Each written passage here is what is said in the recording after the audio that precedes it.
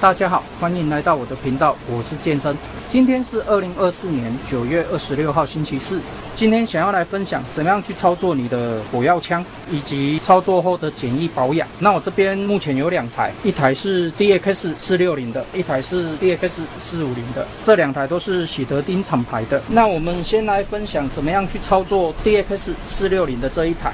火药枪顾名思义，它就是要有火药以及钉子，这个比较适合用在没有空压机的地方、没有电的地方。我们先做简单的介绍，火药的部分，它这边有写数字的排列，一二三四，所以我们装填方向就是尖的这一头朝上。接下来我们就是先将火药装上去，听到咔一声就是它的第一个位置，因为我们第一个位置没有火药，所以我们再往上拉。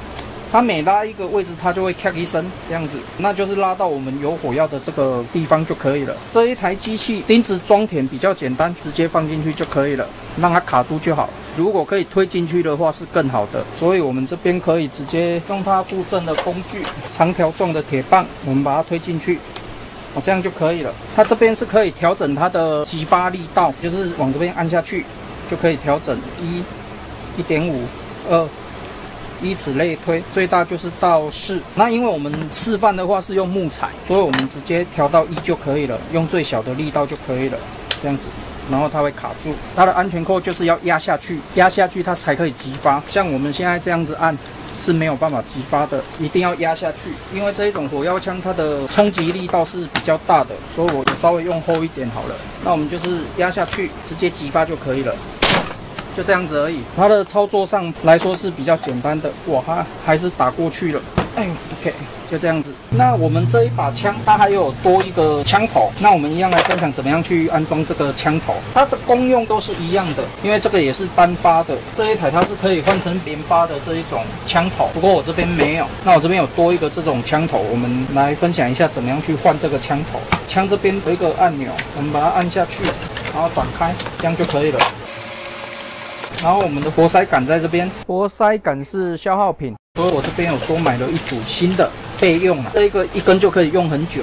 我们要换，先把活塞杆推进去，然后把枪口对准，然后把它压进去，然后把它锁紧，这样就可以了。它这边是可以校正枪头的方向的，像这样子。